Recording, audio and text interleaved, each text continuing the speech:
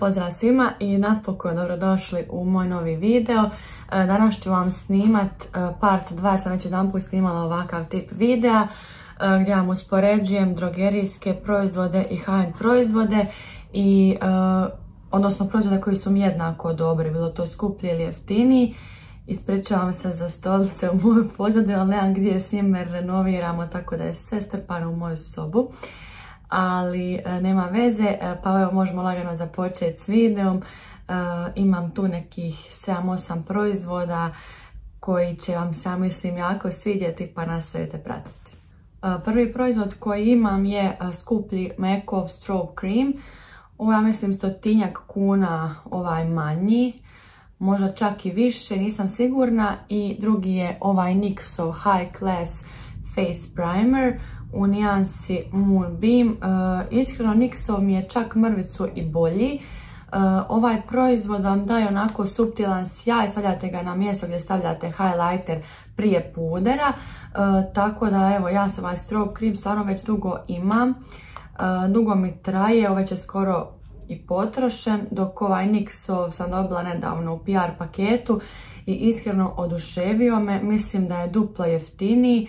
E, NYX kod nas možete pronaći na Pink Pandi. E, nisam sigurna koja je cijena, ali 100% je puno, puno jeftiniji nego ovaj Mekov. Ovo je čak mini verzija, e, imate ga i u većoj. Nisam sigurna sad ko ima više.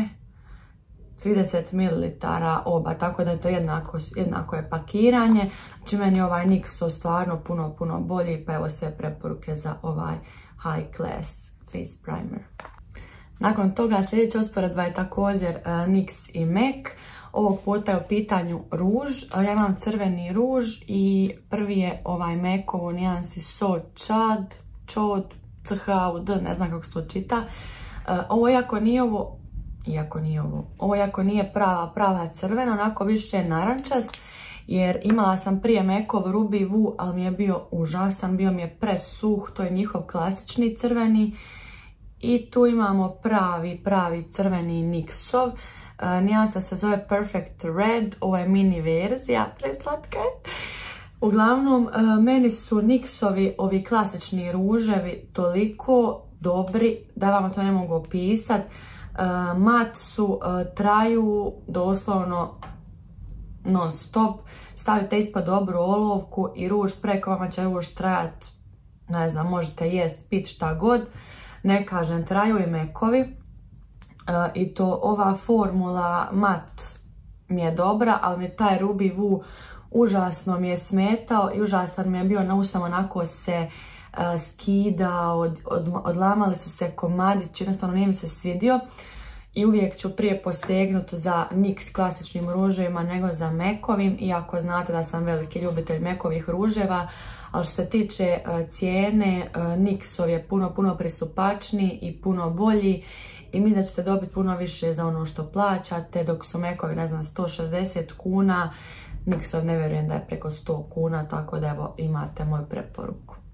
Nakon toga imamo puder, e, doslovno ne mogu reći sada ne vidim nikako, baš nikakvu razliku, ali evo prvi je Lancome puder, Tent Vizioner. Ovaj puder košta ljudi moji preko 500 kuna. 500 kuna za puder. Dobro, ajde on ima ovaj kao korektor gore, ogledalce, ali puder stvarno ima SPF 20, nijansa moja je 0.35. Stvarno obožavam ovaj puder za svaki dan, onako skroz je lagan, skroz je dobar na licu, svjež ali bome L'Orealov crveni čep mu je tu, tu mu je. Znači 500 kuna, 70 kuna, mislim da nema smisla. Kažem, uvijek volim imati ovako malo bolje, malo skuplje pudare i moram jer mi je to posao, ali za vas koji se šminkate svaki dan uh, i nije vam bitno koji je puder, koje marke, koliko je skup, koliko je dobar, kojeg je brenda, slobodno, evo, između ova dva odaberite ovaj. Ovaj puder mi je sam po sebi odličan, ovo je nijansa 140, čak bih rekla da im je jako, jako slična nijansa. Ovaj nijansa meni možda mrvicu uh, onako više nekog maslinastog tona nije mi skroz, skroz pogođena, ali uvijek volim miješat i stvarno evo do sada uh, nisam primijetila neku sad preveliku razliku da bi mogla reći da, evo stvarno, kad ih uspoređujem, mogu slobodno reći da, da je razlika minimalna. Pakiranje 30-30, uh, jedno što ovaj ima SPF, ovaj nema, ali ja volim kod pudera da nema SPF, tako da evo L'Oreal All The Way. Kad smo već kod pudera, možemo odmah riješiti korektore. Prvi skuplji korektor je NARS Radiant Creamy Concealer uh, u nijansi Ginger, medium 2, ja imam i Custard. Uh, korektor koji košta 200, 250 kuna, nisam više nija sigurna. Ali uglavnom za ovo malo unutra da platim ko što platim puder. Mislim da neću više. Iako mi je korektor stvarno predobar, e, odličan zapravo, ali stvarno ne mogu reći da sad vidim neku ogromnu razliku naspram mog omiljenog Fit Me korektora koji platim 20 kuna u Bipi na popustu. Nijansa je 15, najbolja. E, koristim i 20, kod 15 mi je bolja puno za podočnjake, za sakriti to područje. E, ovaj Maybelline je mislim da je malo manji. 6,8 dok je ovaj 6. Onda više ovoga ima. Uglavnom, NARS preskupo plaćate ime, korektor je stvarno odličan, ne mogu reći, ali ne vidim toliku razliku između njih dva i dalje uvijek koristim Maybelline prije nego ovoga. Iako trenutno imam NYXov Can't Stop, Won't Stop, jedno oko mi je spušteno, nemojte zamjeriti. Uh, I on mi je super, ali kad uspoređivala najsličniji uh, Narsu bi bio ovaj Fit Me. Tako da je moj najdraži. Nakon toga imamo highlighter. Prvi je 600 kuna ili 500, nije manje od 500. Uh, Tom Ford Mood Light highlighter koji izgleda ovako. Da se ne lažemo. Ovo je highlighter Kupila bi ga opet, definitivno, ako sam ovoga dobila, ali kupila bi ga opet jer je savršen. Malo reć, odličan je, toliko sitno mljeven, baš onako sjajan, da, koži. E, nema u sebi šljokice, što mi je najbitnije kod highlightera, a ova ih nema. Pakiranje, čak dobijete onu svoju vrećicu za navuć. Imam je tu negdje, ali ne mogu je sad tražiti. Uglavnom, iako to sve stoji, mislim da je sulu dodati toliko novaca za highlighter, za dva highlightera. Ovaj smeđ uopće nije toliko smeđ koliko se čini ovako, kad se stavi na kožu odličan je, ali moj najdraži drogerijski highlighter trenutno je Max Factor Facefinity Highlighter u nijansi 001. Evo vidite i sami koliko sam ga koristila, ništa manje nego Tom Ford. E, isto tako daje taj predivan subtilan sjaj, nema šljokica. E, evo da vidite i nijansu, znači predivan je. Sad ću vam svočati ovaj drugi čisto da usporedimo. E, da pomiješam oba. Evo ga. Znači to su ta dva. Ovo je tu Tom Ford, ali njega treba staviti malo više, subtilnije. Ja to stavim u više slojeva, naravno, ali ovaj Max Factorov za koliko 50, 70 kuna, 100, nebitno, je stvarno odličan i trenutno moj naj, najdraži drogerijski uh, highlighter i evo, nije plaćena suradnja, nije ništa, surađivala sam s njima, ali Niko me ne može platiti da kaže ono što ne mislim. Ovaj highlighter, ljudi moji, gori. Nakon toga imamo dvije olovke za oči. Možda vam je to dosadno, ali meni nije jer olovaka koristim na izvoz i ne mogu svaki put plaćati 250 kuna Charlotte Tilbury olovku, ne mogu. Ovo je crna njezna olovka Bedroom Black, da se ne lažemo najbolja crna olovka koja postoji, ali Druga najbolja olovka koja postoji je Vajkonova 12 Black. Znači, gledajte ovo. Što je toliko crno.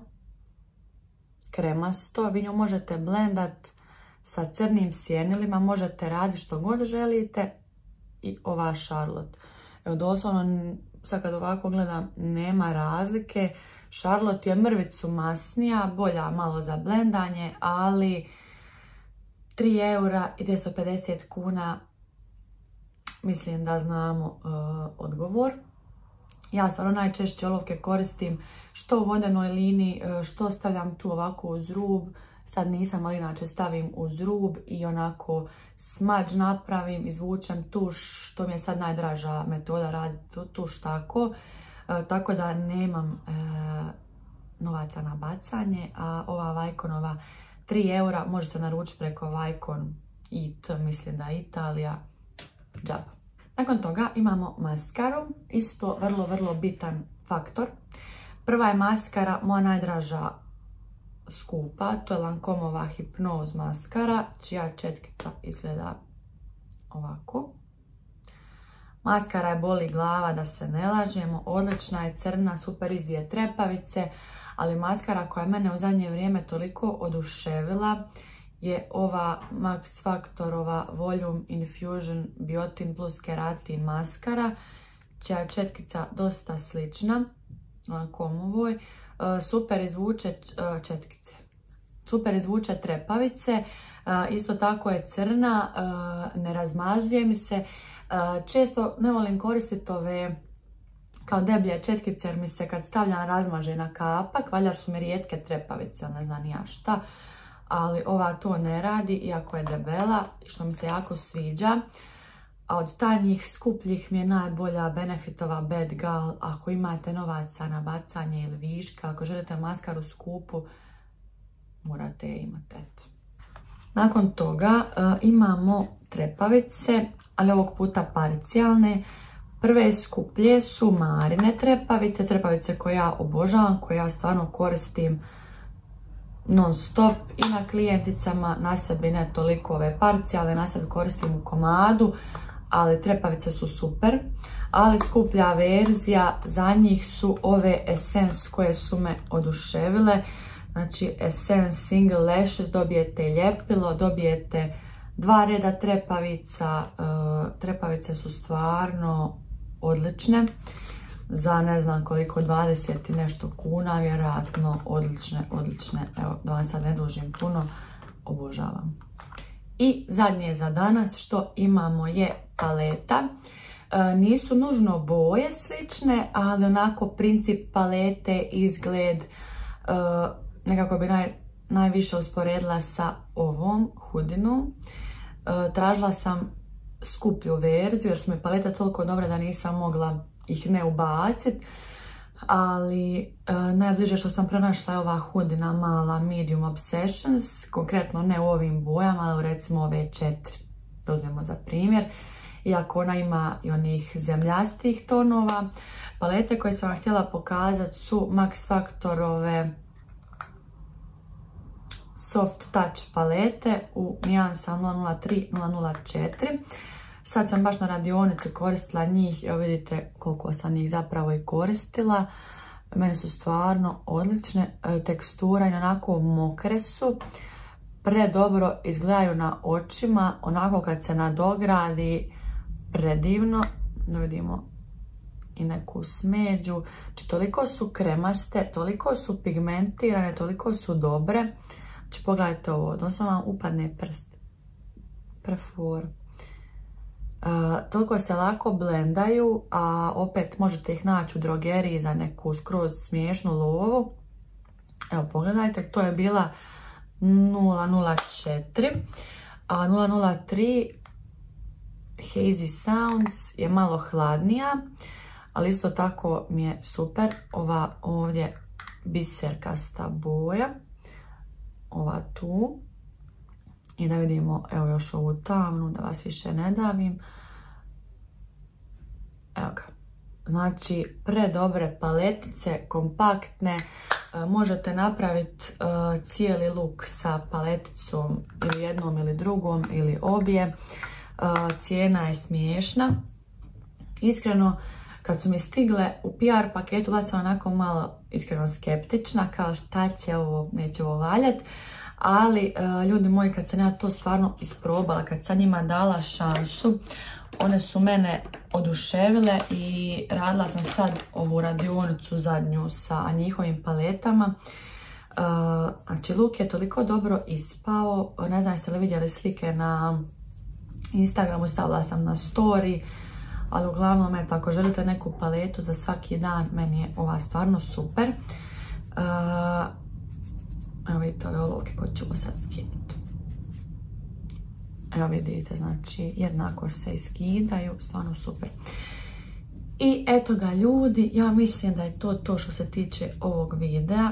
Napokon sam uh, uspjela izbjeći majstore po kući i moje ukućane da snimim napokon neki video. E, nadam se da ću se sad malo aktivnije posvetiti Instagramu, YouTube, pardon.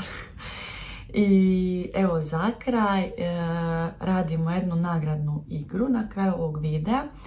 Jedna osoba će osvojiti paketić šminke, neću navoditi što, to će biti iznenađenje, ali bit će super.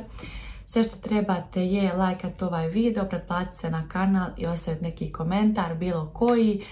I ja ću uh, u idućem videu, kad izađe idući video, ili možda prije toga, uglavnom prikačit ću komentar neki, random ću odabrati, pa eto slobodno se malo zaigrajte. Nemojte šta izgubiti, možete samo dobiti. A što se tiče ovog make-upa, uh, vjerojatno će već biti objavljen dok ovaj video bude vani. Ako ne, čekajte dok ne izađe pa ćete vidjeti šta sam sve koristila, što me vjerojatno pitat. Na očima je ova mala hudina paleta, a kombinacija pudera koju imam je uh, Milani Concealer Perfect i ovaj Lancome. Eto ga, to bilo to. Hvala vam na gledanju i vidimo se uskoro u videu. Pusa!